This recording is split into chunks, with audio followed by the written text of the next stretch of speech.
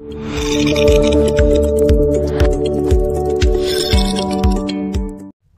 everyone welcome back to our channel friends നസീമാണ്. നമ്മൾ ഒരുപാട് unsold കേസസുകൾ കണ്ടിട്ടുണ്ടായിരിക്കും. അല്ലെങ്കിൽ നമ്മൾ കേട്ടിട്ടുണ്ടായിരിക്കും. അല്ലെങ്കിൽ നമ്മൾ എവിടെയെങ്കിലൊക്കെ കേട്ടറിഞ്ഞിട്ടുണ്ടായിരിക്കും. അല്ലെങ്കിൽ വായിച്ചിട്ടുണ്ടായിരിക്കും. നമ്മുടെ പുലിമുരുകൻ സിനിമയിൽ നമ്മുടെ ലാലേട്ടനെ പറ്റിയിട്ട് അല്ലെങ്കിൽ പുലിമുരുകനെ പറ്റിയിട്ടൊരു ഡയലോഗ് പറയുമല്ലോ. കേട്ടറിവിനേക്കാൾ അപ്പുറമാണ് മുരുകൻ എന്നോ കണ്ടുള്ളൊരു ഡയലോഗ് സോ ആ ഒരു ഡയലോഗ് ഞാൻ ഇവിടെ ഇന്ന് ഇപ്പോൾ ഓർമ്മിക്കുകയാണ്. അപ്പോൾ നിങ്ങൾ ആലോചിക്കും ഇതെന്താ ഒരു ഒരു കണക്ഷനും ഇല്ലാത്ത രീതിയിൽ ഇങ്ങനെ പറയുന്നത് എന്ന് ചോദിച്ചു കഴിഞ്ഞാൽ ലോകത്തിൽ ഏറ്റവും വലിയൊരു മോഷണം എന്ന് പറയാൻ പറ്റുന്ന രീതിയിൽ പല മോഷണങ്ങളെ നമ്മൾ കണ്ടിട്ടുണ്ടായിരിക്കും. യൂട്യൂബിൽ തന്നെ ഒരുപാട് വീഡിയോസുകൾ നമുക്ക് കാണാൻ പറ്റും. യഥാർത്ഥ റിയൽ മണി ഹേസ്റ്റ് മോഷണം യഥാർത്ഥ രീതിയിലുള്ള ലോകം കണ്ട എക്കാലത്തെയും വലിയ ബാങ്ക് മോഷണം എന്നൊക്കെ തന്നെ. പക്ഷേ ലോകം കണ്ട എക്കാലത്തെയും വലിയ മ്യൂസിയ മോഷണം നിങ്ങൾ കണ്ടിട്ടുണ്ടോ? ഒരു മ്യൂസിയത്തിലുണ്ടായിരുന്ന ഒരു തരി പോലും വിടാത്ത രീതിയിൽ മൊത്തം മോഷ്ടിച്ചുകൊണ്ട് പോയിട്ടും കാലം ഇത്രയും കഴിഞ്ഞിട്ടും ഒരു കച്ചിത്തുറും പോലും കണ്ടെത്താൻ കഴിയാത്ത ഒരു റിസോൾവ് ചെയ്യാൻ പറ്റാത്ത ഒരു അൺസോൾവ്ഡ് കേസിനെ പറ്റിയിട്ടാണ് നമ്മൾ ഇന്നത്തെ വീഡിയോയിൽ ഡീറ്റെയിൽ ആയിട്ട് നോക്കാൻ പോകുന്നത്. സിമ്പിളായിട്ട് പറയണമെങ്കിൽ വില മതിക്കാനാവാത്ത ഒന്ന് ആലോചിക്കുക വിലയെ നമുക്ക് നിശ്ചയിക്കാൻ കഴിയാത്ത അത്രമാത്രം വില കൂടിയ വസ്തുക്കളായിരുന്നു ഒരു മ്യൂസിയത്തിൽ നിന്നും കാണാതായിട്ടുണ്ടായിരുന്നത്. ശരി അപ്പോൾ അത്രമാത്രം വലിയൊരു മോഷണം നടന്നിട്ടും അത് എവിടെയാണ് നടന്നത്? അതെന്തുകൊണ്ട് ആ മോഷ്ടിച്ച ആൾക്കാരെ കണ്ടെത്താൻ കഴിഞ്ഞിട്ടില്ല? ശരി നീ ആ കാര്യം എന്താണെന്നുള്ളത് പറ. എനിക്ക് കേൾക്കാൻ വളരെ വലിയ രീതിയിലൊരു ആഗ്രഹമുണ്ട് എന്ന് വിചാരിക്കുന്ന ആൾക്കാരാണെന്നുണ്ടെങ്കിൽ ബാസ്റ്റൺ എന്ന് പറയുന്നൊരു സ്ഥലത്ത്. ആയിരത്തി തൊള്ളായിരത്തി തൊണ്ണൂറിൽ ഇന്നല്ല നമ്മളൊക്കെ ജനിക്കുന്നതിന് മുമ്പ് ഞാൻ നയന്റീൻ നയന്റി സിക്സിലാണ് ജനിച്ചത്. സോ ആയിരത്തി തൊള്ളായിരത്തി തൊണ്ണൂറിൽ മാർച്ച് പതിനെട്ടാം തീയതിയാണ് ഈ മ്യൂസിയം ഇസബെല്ല എന്ന് പറയുന്നൊരു മ്യൂസിയം ബാസ്റ്റനിലാണുള്ളത് ലോകത്തിലെ എക്കാലത്തെയും വലിയൊരു മ്യൂസിയ റോബറി ആയിരുന്നു അവിടെ നടന്നിട്ടുണ്ടായിരുന്നത്. സോ അത് ആയിരത്തി തൊള്ളായിരത്തി തൊണ്ണൂറ് മാർച്ച് പതിനെട്ടിലായിരുന്നു സാഹിബ് സാക്ഷ്യം വഹിച്ചിട്ടുണ്ടായിരുന്നത്. സോ എന്തായിരുന്നു അത്ര വലിയ രീതിയിലൊരു മോഷണം നടക്കാനുള്ളൊരു കാരണം? എന്തുകൊണ്ട് അവർ ഇതുവരെയും പിടിക്കാൻ കഴിഞ്ഞിട്ടില്ല? ശരി അവിടെ എന്തൊക്കെയായിരുന്നു നഷ്ടപ്പെട്ടിട്ടുണ്ടായിരുന്നത്? അതാണ് നമ്മൾ ഓരോന്നായിട്ട് നോക്കാൻ പോകുന്നത്. ബട്ട് അതെല്ലാം നോക്കുന്നതിന് മുന്നേ ആദ്യമേ പറയാനുള്ള ഒരു കാര്യം. എന്റെ വീഡിയോ ആദ്യമായിട്ട് കാണുന്ന ആൾക്കാരാണെങ്കിൽ ദയവേത് എന്റെ ചാനൽ സപ്പോർട്ട് ചെയ്യുക സബ്സ്ക്രൈബ് ചെയ്യുക തൊട്ടടുത്ത് ബെല്ലൈക്കനോട്ട് അത് ക്ലിക്ക് ചെയ്യുക. ഞാൻ ചെയ്യുന്ന മറ്റു വീഡിയോയിലൊക്കെ നോട്ടിഫിക്കേഷൻസ് ഓരോന്നായിട്ട് വരുന്നതായിരിക്കും. നടന്നത് എന്നുള്ളൊരു കാര്യങ്ങൾ വെച്ച് കഴിഞ്ഞാൽ മാർച്ച് പതിനെട്ട്.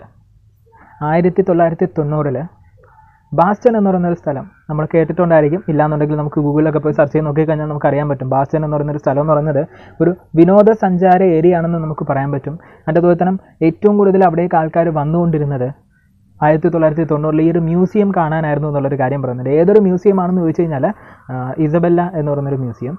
ശരി അങ്ങനെ അത്രമാത്രം ആൾക്കാർ ബാസ്റ്റനിലേക്ക് വരുന്നുണ്ടെങ്കിൽ അവിടെ വന്ന വിനോദസഞ്ചാരികളിൽ ഏറ്റവും കൂടുതൽ ആൾക്കാർ വന്നിട്ടുണ്ടായിരുന്നതും അവർ നാടിന്റെ പുറത്തുനിന്ന് വരുന്ന വരുമാനങ്ങൾ. അന്ന് ആയിരത്തി തൊള്ളായിരത്തി തൊണ്ണൂറിൽ ഏറ്റവും കൂടുതൽ വരുമാനം കിട്ടിക്കൊണ്ടിരുന്നതും ഈ ഒരു മ്യൂസിയത്തിൽ നിന്നായിരുന്നു എന്നുള്ളൊരു കാര്യം പറയുന്നുണ്ട്. പക്ഷേ ഇതൊരു സ്ട്രിക്റ്റഡ് ആയിട്ടുള്ള ഒരു മ്യൂസിയം ആയിരുന്നു ഡ്യൂട്ടി കഴിഞ്ഞാൽ പിന്നെ പോലീസുകാരാണെങ്കിൽ പോലും ആ ഒരു മ്യൂസിയത്തിൽ കയറാൻ കയറാൻ പാടില്ല എന്നുള്ളൊരു നിയമം തന്നെ മാറി മ്യൂസിയം കൊണ്ടുവന്നിട്ടുണ്ടായിരുന്നു. സോ അത്രമാത്രം വളരെ സ്ട്രിക്റ്റ് ആയിട്ട് കൊണ്ടുപോയിക്കൊണ്ടിരുന്ന ഒരു മ്യൂസിയം അന്നൊക്കെ C C T V camera ഉണ്ടായിരുന്നു. ബട്ട് അത് അത്രമാത്രം വളരെ എന്താ പറയുക ഇന്ന് കിട്ടുന്നതൊക്കെ അത്ര ക്ലാരിറ്റി ആയിട്ടുള്ള ഒരു സി സി ടി വിയും കാര്യങ്ങളൊന്നുമല്ല കിട്ടുന്നത്. അങ്ങനത്തെ ഒരു കാലഘട്ടമായിരുന്നു നയന്റീൻ നയന്റി നയൻ സോ ഈ സോറി നയന്റീൻ നയന്റിയിൽ അപ്പോൾ ഈ ഒരു നയന്റീൻ നയന്റിയിൽ എന്തായിരുന്നു അന്ന് അവർ സംഭവിച്ചതെന്ന് വെച്ച് കഴിഞ്ഞാൽ കരൺ എന്ന് പറയുന്നൊരു വുമൺ ഈ ബാസ്റ്റൻ എന്ന് പറയുന്ന മ്യൂസിയത്തിൽ ഒരു സെക്യൂരിറ്റി ഗാർഡാണ് രാത്രി വരെ ആൾക്കാർ സെക്യൂരിറ്റി ഗാർഡ് നിൽക്കും അപ്പോൾ അവർ രാത്രിയിലെ സെക്യൂരിറ്റി ടൈമിംഗ് ഒക്കെ കഴിഞ്ഞിട്ട് രാവിലെ നമ്മുടെ ഈ ഒരു കരണാണ് വന്ന് സെക്യൂരിറ്റി ചാർജ് ഇൻ ചെയ്യുന്നത്. അപ്പോൾ അങ്ങനെ മാർച്ച് പതിനെട്ടിന് ആയിരത്തി തൊള്ളായിരത്തി തൊണ്ണൂറ് ഈ ആയിരത്തി തൊള്ളായിരത്തി തൊണ്ണൂറ് എപ്പോഴും പറഞ്ഞാൽ മേ ബി നിങ്ങൾക്ക് ബുദ്ധിമുട്ടാവാൻ ഒരു സാധ്യത ഉണ്ടായിരിക്കും. ശരി അത് കട്ട് ചെയ്തിട്ട് തന്നെ പറയാം. മേ ബി അത് വന്നു കഴിഞ്ഞാൽ ക്ഷമിക്കാം. തന്റെ കാറെടുത്ത് തന്റെ വീട്ടിൽ നിന്നും രാവിലെ റെഡിയായി അപ്പോൾ ഓഫീസിലൊക്കെ പോകാനായിട്ട് അതായത് മ്യൂസിയത്തിൽ പോയി ജോയിൻ ജോയിൻ ചെയ്യാനായിട്ട് രാവിലത്തെ ആ ഒരു മോർണിംഗ് ജോബ് ചെയ്യാനായിട്ട് പോവാണ്. കാറിൽ വന്ന് ഈ മ്യൂസിയത്തിന്റെ അടുത്ത് തന്നെ പാർക്കിംഗ് ലോട്ടൊക്കെ ആ ഒരു മ്യൂസിയത്തിൽ തന്നെ ഉണ്ട്. അങ്ങനെ കാറ് പാർക്ക് ചെയ്യുന്നിടത്ത് തന്റെ ആ ഒരു കാറ് പാർക്ക് ചെയ്ത് അതിന്റെ കീ എടുത്ത് കാറ് ലോക്ക് ചെയ്തിട്ട് വരെയാണ് ആ ഒരു മ്യൂസിയത്തിലേക്ക്. നമുക്ക് ഈ ഒരു ടെക്നോ പാർക്ക് അതുപോലെ തന്നെ ഈ ഒരു പ്രൊഫഷണൽ കമ്പനീസിലൊക്കെ ജോലി ചെയ്യുന്ന ആൾക്കാരാണെങ്കിൽ നമുക്കറിയാൻ പറ്റും. ഇപ്പോൾ എനിക്ക് തോന്നുന്നുണ്ട് ഇപ്പോൾ ഇപ്പോൾ എല്ലാ സ്ഥലങ്ങളിലും അത് കൊണ്ടുവന്നിട്ടുണ്ടെന്നാണ് തോന്നുന്നത്. വരിക പഞ്ച് ചെയ്യുക കയറുക വരിക പഞ്ച് ചെയ്യുക കയറുക ഒരു ദിവസം വന്നിട്ടില്ല എന്നുണ്ടെങ്കിൽ നമുക്ക് അന്നത്തെ ദിവസം പഞ്ച് ചെയ്തിട്ടില്ല എന്നുണ്ടെങ്കിൽ നമുക്കറിയാൻ പറ്റും. അന്ന് വന്നിട്ടില്ല. ആ ഒരു പഞ്ചിങ് കമ്പ്യൂട്ടർ ഡീറ്റെയിൽസ് തന്നെ എടുക്കുമ്പോൾ അപ്പോൾ അതുപോലെ ഒരു പഞ്ചിങ് ഉണ്ട്. അപ്പോൾ ആ ഒരു പഞ്ചിങ് വെച്ചിട്ട് ആ ഒരു മ്യൂസിയത്തിനകത്തേക്ക് ഈ പറയുന്ന കരൺ എന്ന് പറയുന്ന ഒരു വുമൺ കയറാൻ പറ്റുള്ളൂ. അപ്പോൾ അങ്ങനെ വരാണ് വന്നിട്ട് പഞ്ചിയാണ്. ഈ പഞ്ചി എന്ന സമയത്ത് ഇത് അറ്റൻഡൻസ് മാത്രമല്ല ഇതിനകത്ത് തന്നെ എന്ത് ചെയ്യുന്നുണ്ട്? ഡയറക്റ്റ് ആ ഒരു ഓഫീസിന്റെ റൂം തുറന്ന് അകത്ത് കയറാനുള്ളൊരു ഫ്രണ്ട് ഡോറ് തുറക്കാനുള്ളൊരു പഞ്ചിങ് കൂടെ ഉണ്ടായിരുന്നു. അപ്പോൾ ആ ഒരു പഞ്ചിങ്ങിലേക്ക് പാസ് ചെയ്യാണ്. പാസ് ചെയ്ത് അത് ഈ ഒരു ഐ ഡി കാർഡാണ് സോറി അത് പഞ്ചിങ് അല്ല അത് ഐ ഡി കാർഡാണ് ഈ ഒരു ഐ ഡി കാർഡ് കാണിച്ച് ഈ ഒരു മ്യൂസിയത്തിനകത്തേക്ക് കയറാനായിട്ട് ഐ ഡി കാർഡ് കാണിച്ചിട്ട് ഡോറൊക്കെ തുറക്കാനായിട്ട് എന്ത് ചെയ്യുന്നുണ്ട്? വരുന്നുണ്ട്. വരുന്ന സമയത്ത് ഈ പഞ്ചിങ് മെഷീൻ സംഭവം വർക്കാവുന്നില്ല ഈ പഞ്ചിങ് മെഷീൻ വർക്കാവുന്നില്ലെന്ന് മാത്രമല്ല അകത്ത് വേറെ ഡ്യൂട്ടിക്ക് ആളുണ്ടല്ലോ. അപ്പോൾ അവരെ കൂടെ വിളിക്കണമല്ലോ. അപ്പോൾ അവരെ വിളിച്ച് ഈ ഒരു ഡോർ തുറക്കാൻ പറയാമെന്ന് പറഞ്ഞിട്ട് അകത്തുനിന്ന് എന്ത് ചെയ്യുന്നുണ്ട്? എക്സ്പെഷ്യലി അവരെ വിളിക്കുകയാണ് രണ്ട് ഡ്യൂട്ടിക്ക് നിൽക്കുന്ന ആൾക്കാർ അങ്ങനെ അവരെ വിളിക്കുന്നുണ്ട്. അവരാണെങ്കിൽ ഒരു അനക്കമില്ല അവർ രണ്ടുപേരുണ്ടായിരുന്നു രണ്ടുപേരെയും വിളിച്ചിട്ടും ഒരു അനക്കം അവിടെ നിന്നും ഇല്ലാത്തതുകൊണ്ട് തന്നെ ഈ പറയുന്ന കാരണം എന്തോ അല്ലാത്ത രീതിയിലൊരു ഒരു പരിഭ്രാന്തി തോന്നുകയാണ്. ശരി എന്തായാലും ഈ മെഷീൻ ഇവിടെ അകത്തത്തെ കംപ്ലീറ്റ് ആയിട്ടുണ്ടെങ്കിൽ രണ്ടെണ്ണം ഉണ്ട് അതായത് ഇതും അപ്പുറത്തേക്കുന്ന രണ്ടും കണക്റ്റിംഗ് അല്ല. ഇവിടെ നിന്ന് ഓപ്പൺ ചെയ്ത് വേണമെങ്കിൽ അകത്തും കയറാം. അകത്തു നിന്നും വേണമെങ്കിൽ ഓപ്പൺ ചെയ്ത് പുറത്തും വരാം. സോ ഒന്ന് മെഷീൻ കേടായി കഴിഞ്ഞാലും അപ്പുറത്തേക്ക് ആൾക്കാർ മെഷീൻ ഓപ്പൺ ചെയ്ത് അകത്ത് കയറാൻ പറ്റും. സോ അങ്ങനത്തെ ഒരു സിറ്റുവേഷൻ ആയിരുന്നു അപ്പോൾ ഇത് യഥാർത്ഥത്തിൽ കംപ്ലയിന്റ് ആവുന്ന ഒരു കാര്യം കൂടിയല്ല. ഇത് എന്തുകൊണ്ട് കംപ്ലയിന്റ് ആയെന്നുള്ളതും ഒരു ഡൗട്ടായിരുന്നു കരണിന്. അങ്ങനെ കരൺ എന്ത് ചെയ്യുന്നുണ്ട്? ഉടനെ ഓപ്പോസിറ്റ് സൈഡിൽ വന്നിട്ട് ബാക്ക് ഡോറിൽ വന്നിട്ട് അവിടെയൊക്കെ നോക്കുകയാണ് അവിടെയും ഒരു അനക്കമില്ല ശരി? എന്തായാലും ഒന്ന് എന്ത് ചെയ്യുന്നുണ്ട്? ചീഫ് സെക്യൂരിറ്റി ഗാർഡിനെ വിളിക്കാമെന്ന് പറഞ്ഞിട്ട് ചീഫ് സെക്യൂരിറ്റി ഗാർഡിനെ വിളിക്കുകയാണ് അങ്ങനെ ചീഫ് സെക്യൂരിറ്റി ഗാർഡ് അവിടെ വരാണ്. വന്നതിന് ശേഷം അയാളും കൂടെ ഒരുമിച്ച് വന്നിട്ട് ഫ്രണ്ട് ഡോറിലൊക്കെ വിളിച്ചിട്ട് ഒരു അനക്കമില്ല ഈ സെക്യൂരിറ്റി ഗാർഡൊന്നും വരുന്നില്ല. ശരി അവർ ഇന്നലെ രാത്രി ഡ്യൂട്ടി ഉണ്ടായിരുന്നതാണല്ലോ. പിന്നെ എവിടെ പോയി എന്നുള്ളൊരു കാര്യം അറിയാത്തതുകൊണ്ട് തന്നെ ഇവർ ചീഫ് സെക്യൂരിറ്റി ഗാർഡ് എന്ത് ചെയ്യുന്നുണ്ട്? നമ്മുടെ കരൺ എന്ന് പറഞ്ഞ ഒരു ഉമ്മനെ കൂട്ടിക്കൊണ്ട് ആ ബാക്ക് സൈഡിൽ വന്നിട്ട് അവിടുത്തെ ഡോറ് തുറക്കാണ്. അവിടുത്തെ ഡോറ് ചാവിയുണ്ട്. അത് വെച്ച് തുറന്ന് അകത്ത് കയറിയിട്ട് ഈ പറയുന്ന ചീഫ് സെക്യൂരിറ്റി ഗാർഡ് അതിന്റെ അതുപോലെ തന്നെ നമ്മുടെ കാരണം അകത്തേക്ക് വന്ന് ഈ പറയുന്ന സെക്യൂരിറ്റി ഗാർഡ് ഇരിക്കുന്ന ഒരു സെക്യൂരിറ്റി റൂമുണ്ട് നമുക്ക് ചില സിനിമകളിലൊക്കെ കാണാൻ പറ്റും. അവിടെ ഫുള്ള് ക്യാമറയൊക്കെ തന്നെ ആയിരിക്കും അധികമായിട്ട് നമുക്ക് ഹോളിവുഡ് സിനിമയിലായിരിക്കും അത് കാണാൻ പറ്റുക. അപ്പോൾ സെക്യൂരിറ്റി ഗാർഡിനെ അവിടെ എന്ത് മ്യൂസിയത്തിലെ ഏതൊരു മൂലയിൽ ക്യാമറ എടുക്കുന്ന സ്ഥലത്ത് എന്തൊരു നീക്കം നടന്നാലും അത് ഈ ഒരു സെക്യൂരിറ്റി ഗാർഡിനെ അനലൈസ് ചെയ്യാൻ പറ്റും. അപ്പോൾ അതാണ് സംഭവം. അപ്പോൾ അവിടെയാണ് സെക്യൂരിറ്റി ഗാർഡ് കാണുക. അപ്പോൾ അവിടെ വന്നിട്ട് അവിടെ വന്ന് നോക്കിയപ്പോഴത്തേക്ക് ഈ ഡോറ് ഓപ്പൺ ചെയ്ത് ഓപ്പൺ എന്നല്ല ഡോറിന്റെ പിടി പൊട്ടി പൂട്ട് പൊട്ടി താഴെ കിടക്കുന്നുണ്ട്. ഇതെന്താ സംഭവം എന്നറിയാത്ത രീതിയിൽ അവരവിടെ അത്രയും പേര് വിളിക്കുകയാണ്. ഇവിടെ വിളിച്ചിട്ടാണെങ്കിൽ ഒരു അനക്കമല്ല? ഇവർ എവിടെ പോയി പോയെന്ന് അറിയാൻ വയ്യ. അങ്ങനെ ഡോറ് തുറന്ന് കിടക്കാനല്ലോ ഡോറിന് അകത്തേക്ക് വന്ന് നോക്കിയപ്പോൾ അവിടെ മൊത്തം അലങ്കോലമായിട്ട് കിടക്കാണ്. കമ്പ്യൂട്ടറൊക്കെ ചിലതൊക്കെ തകർന്ന് കിടക്കാണ്. അവിടെ എന്തൊക്കെയോ പ്രശ്നങ്ങൾ നടന്ന പോലെ ഒരു അലങ്കോലമായിട്ടൊക്കെ കിടക്കുന്നുണ്ട്. ശരി ഇവരെവിടെ പോയെന്നൊരു പിടുത്തമില്ല ഉടനെ തന്നെ ഓക്കെ എന്തോ പന്തികേടുണ്ട് എന്നുള്ളൊരു കാര്യങ്ങൾ മനസ്സിലാക്കിയ ഉടനെ നയൻ വൺ വണ്ണിലേക്ക് കോൾ ചെയ്യാണ് സോ അതിനുശേഷം എന്ത് ചെയ്യുന്നുണ്ട്? ഇവരും ചെക്ക് ചെയ്ത് നോക്കുകയാണ് ഇവർ എവിടെ പോയി രണ്ട് സെക്യൂരിറ്റി ഗാർഡ് ഉണ്ടായിരുന്നത് എന്നുള്ളൊരു കാര്യം. അങ്ങനെ. ഈ ഓഫീസർമാർ അവിടെ വരാണ്. പോലീസ് ഓഫീസറും വരാണ്. പോലീസ് ഓഫീസറൊക്കെ വന്നിട്ട് ഇവിടെ മൊത്തം എന്താണ് ഇവിടെ ഇപ്പോൾ രണ്ടുപേരുണ്ടായിരുന്ന സെക്യൂരിറ്റി ഗാർഡ് ഇവിടെ പോയി നോക്കിയപ്പോൾ അവർ താഴെ ബേസ്മെന്റിൽ കെട്ടിയിട്ടിരിക്കുകയാണ്. അവർക്ക് ശബ്ദം പോലും വരാനില്ല. ശബ്ദം പോലും വരാത്ത രീതിയിൽ മൊത്തം ടേപ്പ് വെച്ചിട്ട് കെട്ടി അവർ രണ്ടുപേരും അവിടെ ഇട്ടിരിക്കുകയാണ്. അവർ രണ്ടുപേരെ പേരാണ് റിച്ചാർഡ് ആന്റി റിച്ചാർഡിന് ഇരുപത്തിമൂന്ന് വയസ്സാണ്. ശരി ആന്റിയും റിച്ചാർഡും ഒരുമിച്ചായിരുന്നു നൈറ്റ് ഡ്യൂട്ടി നോക്കാറുള്ളത്.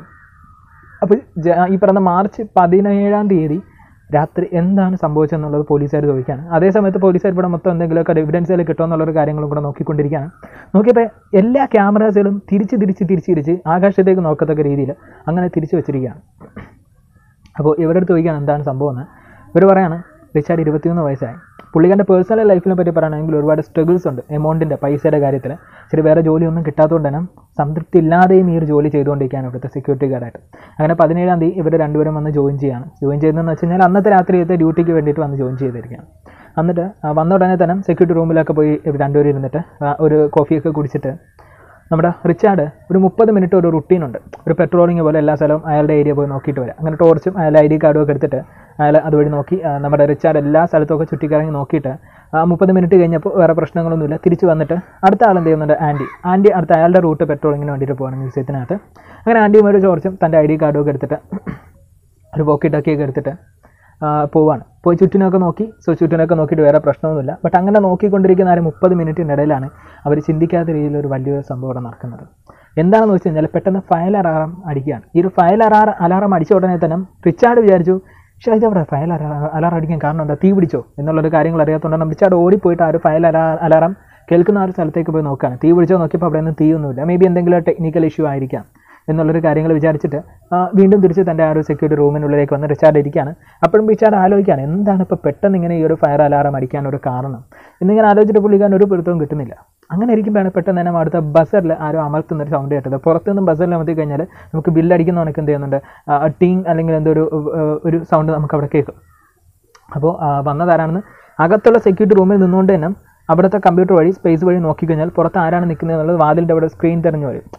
സിനിമയിലൊക്കെ നമ്മൾ കണ്ടിട്ടുണ്ടായിരിക്കും. എന്നാൽ അങ്ങോട്ടും ഇങ്ങോട്ടും കോൺടാക്ട് ചെയ്യാനും പറ്റും. ചോദിക്കാണ് റിച്ചാർഡ് ആരാണ് എന്നുള്ളൊരു കാര്യങ്ങൾ യൂണിഫോം ഒക്കെ കണ്ടപ്പോൾ തന്നെ മനസ്സിലായി. അല്ല എന്താണ് സാർ പോലീസുകാരായിരുന്നു രണ്ടുപേരായിരുന്നു വന്നിട്ടുണ്ടായിരുന്നത്. എന്താണ് സാർ വന്നത് എന്നുള്ളൊരു കാര്യങ്ങൾ വെച്ചപ്പോൾ അല്ല നമുക്കിവിടെ എന്തോ ഒരു പ്രശ്നമുണ്ടെന്ന് കേട്ടു.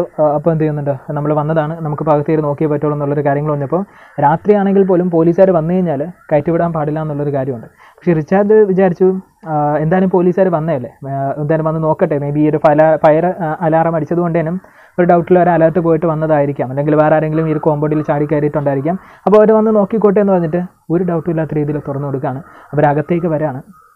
വന്നതിന് ശേഷം ചുറ്റിനൊക്കെ ഒരു രണ്ട് പോലീസുകാരും എല്ലാം നോക്കുകയാണ്. വേറെ പ്രശ്നങ്ങളൊന്നും ഇല്ലാന്ന് ഒരു അഞ്ച് മിനിറ്റോ കണ്ടെങ്കിൽ ചുറ്റുമൊക്കെ നോക്കി നടന്നിട്ട് ഇതിനകത്ത് ഒരു പോലീസുകാരൻ റിച്ചാർഡിന്റെ അടുത്ത് വന്നിട്ട് പറയണം തന്റെ ഐ ഡി കാർഡ് ഒന്ന് എടുത്ത് നോക്കട്ടെ എന്നുള്ള കാര്യം. അങ്ങനെ ഐ ഡി കാർഡ് കാണിച്ചു കൊടുക്കുകയാണ്. സോ ഈ ഐ ഡി കാർഡ് എടുത്ത് നോക്കിയ ഉടനെ തന്നെ പറയണം റിച്ചാർഡേ എനിക്ക് നിന്റെ പേരിൽ ഒരു കംപ്ലയിന്റ് കിട്ടിയിട്ടുണ്ടായിരുന്നു. മോനെ നിന്നെ പിടിക്കാൻ വേണ്ടിയിട്ടാണ് ഞാൻ പറഞ്ഞത് റിച്ചാർഡിനാണെങ്കിൽ ഒന്നും മനസ്സിലാവുന്നില്ല. കംപ്ലയിന്റോ എന്നെ എന്തിനാണ് സാറേ ആരാ കംപ്ലയിന്റ് തന്നെ സാറേ എന്നുള്ളൊരു കാര്യങ്ങൾ പറഞ്ഞ ഉടനെ തന്നെ മോനെ നീ പെട്ടു. നമ്മുടെ ഫഹദ് ഫാസിൽ പറയാൻ നടക്കും. പുള്ളിക്കാരൻ ഉടനെ തിരിച്ചങ്ങോട്ടൊരു സൈഡിലോട്ട് നിർത്തിയിട്ട് ബാക്കിൽ കൈ രണ്ടും വെച്ചിട്ട് ഹാൻഡ് കഫ് ചെയ്യാണ് റിച്ചാർഡിനൊന്നും മനസ്സിലാവുന്നില്ല. ഉടനെ തന്നെ വേറെ ആരെങ്കിലും നിന്റെ കൂടെ ഉണ്ടോ എന്നുള്ളൊരു കാര്യങ്ങൾ ചോദിക്കുകയാണ്. അന്ന് അടിച്ചുകൊണ്ടൊക്കെ തന്നെ ചോദിക്കുന്നുണ്ട്. റിച്ചാർഡ് പറഞ്ഞു അതെ ഇത് അടി കൊടുക്കുന്നതിനൊക്കെ മുമ്പ് തന്നെ റിച്ചാർഡ് പറഞ്ഞിട്ടുണ്ടായിരുന്നു. ആൻഡി എന്ന് പറയുന്നൊരു പേഴ്സൺ കൂടെ ഉണ്ട്. അവൻ ഈ ഒരു റൂട്ടിന് പോയിരിക്കുകയാണ് പെട്രോളിങ്ങിന് പോയിരിക്കുകയാണെന്നുള്ളൊരു കാര്യം. അതുകൊണ്ട് തന്നെ അവന് വേണ്ടിയിട്ട് കൂടി അവർ കാത്തു നിന്നു. സോ അവൻ വന്ന സമയത്ത് അവൻ നോക്കിയപ്പോൾ ഹാൻഡ് കപ്പിൽ വെച്ചിരിക്കുന്നുണ്ട്. ഇവരും പോലീസുകാരാണെന്നുള്ള രീതിയിൽ അവൻ അതാ ഇതൊക്കെ ക്രൈമൊക്കെ ചെയ്തു എന്നുള്ളൊരു കാര്യങ്ങൾ പറഞ്ഞിട്ട് പെട്ടെന്ന് ഇവന് ഡൗട്ട് വന്നപ്പോൾ അവർക്ക് ആന്റിക്ക് ആന്റിയും ഉടനെ പിടിച്ചിട്ട് ഹാൻഡ് കഫ് ചെയ്ത് കയ്യിൽ ബാക്കിൽ വെച്ച് ഹാൻഡ് കഫ് ചെയ്തിട്ട് രണ്ടുപേരും അവിടെ ഇരുത്തിയിട്ട് രണ്ടുപേരും തൂക്കിയെടുത്ത് ബേസ്മെന്റിൽ കൊണ്ടുവന്ന് മൊത്തത്തിൽ ടേപ്പ് ഒട്ടിച്ച് വെക്കുകയാണ്. അവർക്ക് അനങ്ങാൻ പോലും വയ്യാത്തൊരവസ്ഥ. ഒന്ന് നിലവിളിക്കാൻ പോലും പറ്റാത്തൊരവസ്ഥ. ഇതിനുശേഷം അവിടെ പതിമൂന്ന് വില കൂടിയ പെയിന്റിങ്സ് ഉണ്ടായിരുന്നു. വില മതിക്കാനാവാത്ത പെയിന്റിങ്സ് അത് വില എത്രയാണെന്ന് പോലും നമുക്ക് നിശ്ചയിക്കാൻ പറ്റില്ല. അങ്ങനത്തെ പതിമൂന്ന് പെയിന്റിങ്സും അവന്മാർ തട്ടിക്കൊണ്ടുപോയി. രണ്ടോമാർ അതിന്റെ അതിൽ ഏറ്റവും വില കൂടിയ പെയിന്റ് എന്ന് പറയുന്നത് എനിക്ക് തോന്നുന്നുണ്ട് സ്റ്റോം ഓൺ ദ ഗെയിലി എന്ന് പറയുന്നൊരു പെയിന്റാണ് സ്റ്റോം ഓൺ ദ ഗെയിലി എന്ന് പറഞ്ഞ ആ ഒരു painting five hundred million U S dollar ആയിരുന്നു അന്നത്തെ വില എന്നുള്ളൊരു കാര്യങ്ങൾ പറയുന്നുണ്ട്. ഒന്ന് നോക്കുക സ്റ്റോം ഓൺ ദ ഗെയിലി എന്ന് പറയുന്നൊരു പെയിന്റ് നിങ്ങൾക്ക് അത് അടിച്ചു നോക്കി കഴിഞ്ഞാൽ ഗൂഗിളിലൊക്കെ അറിയാൻ പറ്റും. അപ്പോൾ അതുപോലെ വില കൂടി പതിമൂന്ന് പെയിന്റ് തട്ടിക്കൊണ്ടുപോയിട്ടുണ്ടായിരുന്നു. ഇന്നും ഇത്ര കാലം കഴിഞ്ഞിട്ടും അത് ആരൊക്കെയാണ് തട്ടിക്കൊണ്ടുപോയത് എന്നുള്ളൊരു കാര്യം ഇതുവരെയ്ക്കും കണ്ടുപിടിക്കാൻ കഴിഞ്ഞിട്ടില്ല എന്നുള്ളൊരു കാര്യങ്ങളാണ് പറയുന്നത്. എന്തുകൊണ്ടാണെന്ന് ചോദിച്ചു കഴിഞ്ഞാൽ ഒരു ക്ലൂ പോലും കിട്ടാത്ത രീതിയിലായിരുന്നു പോയിട്ടുണ്ടായിരുന്നത്. അവന്മാരുടെ ഫേസ് പോലും ഇവരെ രണ്ടുപേരും കണ്ടിട്ടില്ല എന്നുള്ളൊരു കാര്യം പറയുന്നുണ്ട്. ബട്ട് ഇന്നും ഈ ഒരു കേസ് അൺസോൾഡ് ആണ്. ഈ ഒരു കേസിനെ പറ്റിയിട്ട് ഈ ഒരു ക്രൈമിനെ പറ്റിയിട്ട് നിങ്ങൾക്ക് എന്താണ് പറയാനുള്ളത് എന്നുള്ളത് ഉറപ്പായിട്ട് കമന്റിൽ ലീവ് ചെയ്യുക തെറ്റ് ചെയ്ത ആൾ ശിക്ഷിക്കപ്പെടുമെന്ന് നിങ്ങൾ ചിന്തിക്കുന്നുണ്ടോ? അല്ലെങ്കിൽ ഒരു ഗോഡ് ക്രിയേറ്റഡ് പോലെ തന്നെ എന്ത് ചെയ്യുന്നുണ്ട്? അത് സൈക്ലിംഗ് ആയിട്ട് ഇങ്ങനെ എന്ത് ചെയ്യുന്നുണ്ട്? പുള്ളിക്കാരൻ തന്നെ എല്ലാവർക്കും ശിക്ഷ കൊടുക്കുന്ന ഒരു രീതിയിലേക്കാണോ കാര്യങ്ങൾ പോകുന്നത്? അല്ലെങ്കിൽ എന്തുകൊണ്ട് സെമി ഞാൻ ഉദ്ദേശിച്ചത് തെറ്റ് ചെയ്തവൻ ശിക്ഷിക്കപ്പെടുമോ എന്നുള്ളൊരു കാര്യമാണ്. ഇവിടെ ഇവർ ശിക്ഷിക്കപ്പെട്ടിട്ടുണ്ടാകുമെന്ന് നിങ്ങൾ ചിന്തിക്കുന്നുണ്ടോ? ഇല്ല എന്നുള്ളത് കൂടി കമന്റിൽ ലീവ് വീണ്ടും സന്ദിപ്പം ലവ് യു ആൾ നിങ്ങൾക്ക് ഇതുപോലത്തെ ഒരു മിസ്റ്ററി അല്ലെങ്കിൽ ഒരു ഹേസ്റ്റ് സ്റ്റോറി ഇഷ്ടപ്പെടുന്ന ഫ്രണ്ട്സ് ഉണ്ടെന്നുണ്ടെങ്കിൽ അവർക്കൂടെ വീഡിയോ ഷെയർ ചെയ്ത് കൊടുക്കുക love you all tata take care stay home I mean എനിക്ക് തോന്നുന്നുണ്ട് ആ ഒരു പെയിന്റിന്റെ പേര് ഞാൻ തെറ്റിച്ചായിരിക്കാൻ പറഞ്ഞിരിക്കുക. എവിടെയോ ഒരു വേർഡ് മിസ്സായതുപോലെ തോന്നി. സോറി ക്ഷമിക്കും.